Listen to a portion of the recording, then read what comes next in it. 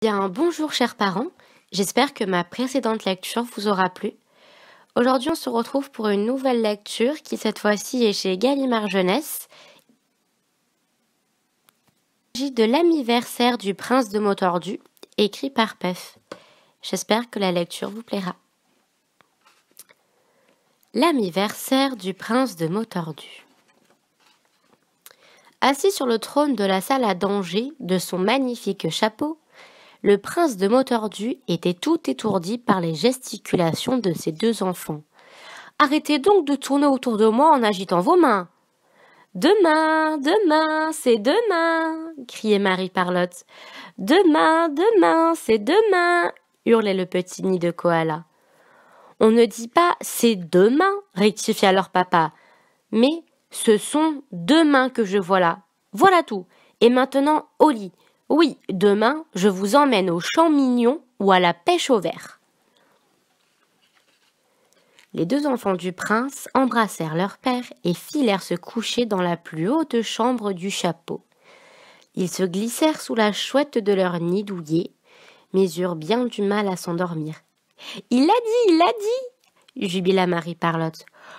Il a dit quoi, papa? Nid de Koala. Il a dit demain, oui, demain. Il ne se doute de rien, pouffa Marie Parlotte. Et elle ajouta Bon, Nid de Koala, tu te rappelles par où il faut passer? Mais oui, s'impatienta son frère. En sortant du chapeau, on prend le chemin, puis à droite, une petite année. Exact, fit Marie Parlotte. Une année de puce pour papa. Et au bout de cette année, une belle surprise attend notre prince de Motordu. Tu crois qu'il acceptera de nous suivre? S'inquiète Annie de Koala. Mais oui, ne t'en fais pas. Et les deux enfants fermèrent les yeux, tandis que beaucoup plus haut, les étoiles araignées s'apprêtaient. Le lendemain matin, ils retrouvèrent leur papa, son panier à champignons et sa canne à bêche au vert. Laisse tomber tout ça, papa, ordonna Marie-Parlotte. Aujourd'hui, donne-nous tes deux mains. Nous t'emmenons en promenade. Tiens, prenons cette année. Ils furent bientôt dans la forêt, admirant les magnifiques chênes dont les planches abritaient quantité d'oiseaux. Mais où m'emmenez-vous? s'inquiétait Motordu. Écoutez, j'entends galoper. Ils furent aussitôt entourés par une petite troupe de cendriers. L'un de grogna. Interdit de fumer en forêt. Mais nous ne fumons pas? protestèrent nos trois amis. On ne sait jamais, fit un cendrier. Dans le cas contraire, faudra nous donner vos cendres et vos sales petits mégots. Hum, c'est bizarre, dit encore le prince. J'entends aussi comme des petits rires et des bruits de pas sur les feuilles. Il se retourna, mais ne vit personne. Pourtant, se déplaçant à l'abri des chênes, il y avait bel et bien des gens. La princesse des écoles, le père et la mère de Motordu, les gardes du chapeau, les coussins de la famille et de nombreux habits suivaient le prince de Motordu et ses deux enfants.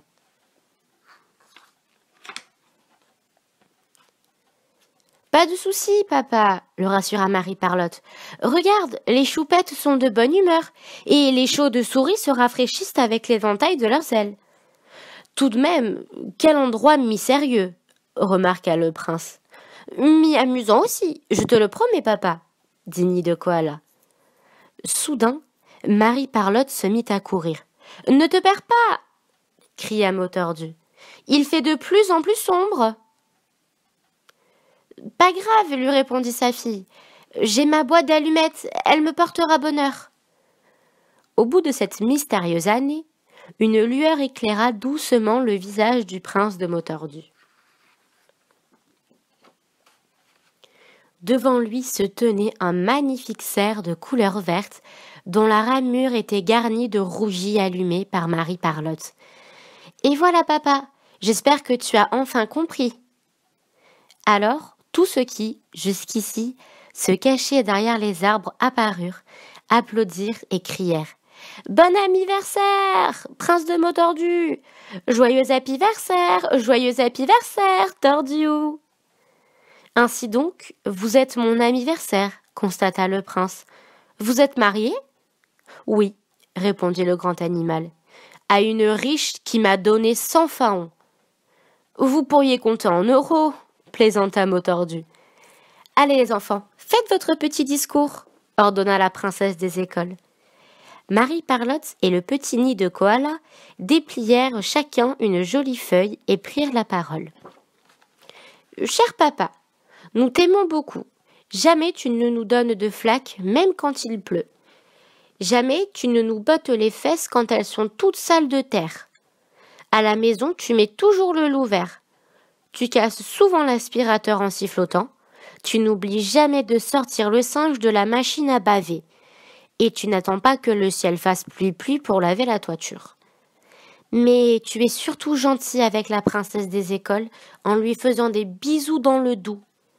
Pour toutes ces raisons, cher papa, nous t'aimons encore plus et nous te souhaitons un bon anniversaire. Marie-Parlotte et Nid de Koala. Les rougis, les rougis crièrent famille et amis réunis. Le prince de Motordu gonfla sa poitrine et étreignit les rougis. Bravo papa applaudit Marie-Parlotte. Et maintenant, ton cadeau. Le prince se pencha vers les sabots du cerf, puis se redressa. Il tenait entre ses mains un magnifique baquet cadeau. Regarde à l'intérieur, papa l'encouragea Annie de Koala. Motordu plongea les mains dans le baquet et en sortit deux magnifiques crapauds.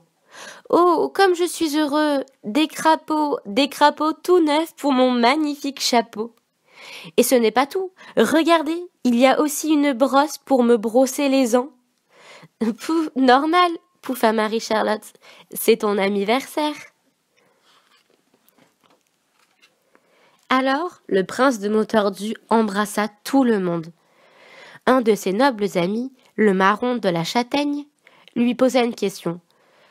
Ça vous fait quelle nage, cher prince? Le prince agita ses jambes, agita ses bras, agita ses mains et enfin ses doigts, faisant mine de compter. Mais enfin, qu'est-ce qui vous prend s'inquiéta le marron. Vous me demandez quelle nage j'ai? Eh bien, je compte les ans, les dates, vous donnant ainsi une leçon de datation. Tout le monde applaudit et reprit le chemin du chapeau. La princesse des écoles s'étonna soudain.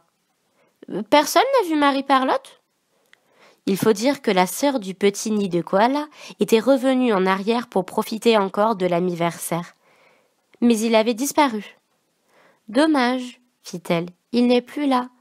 L'anniversaire de papa est passé.